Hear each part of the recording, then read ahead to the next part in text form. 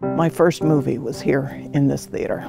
We used to come here almost every Saturday. I remember coming here with my dad. Matinees on Saturday, I think, were two movies for 50 cents. I think it was only 25 cents to get in that I remember. The early 30s, I think it cost us either a nickel or a dime to get in here. They used to have two movies, a newsreel, cartoons. I think it was the very first movie that I ever attended was Snow White and the Seven Dwarfs. I remember seeing West Side Story.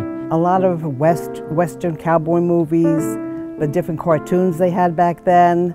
I and my friends could walk down here uh, by ourselves. And we'd walk down together, down and back. We all used to meet over there at exit three, I think it was. But I think it was like in eighth grade then, and that was like your first taste of freedom back then. Not, you know, it's not like today kids would all sit towards the front, and there was lots of talking. We always got there early. For me, it was date night.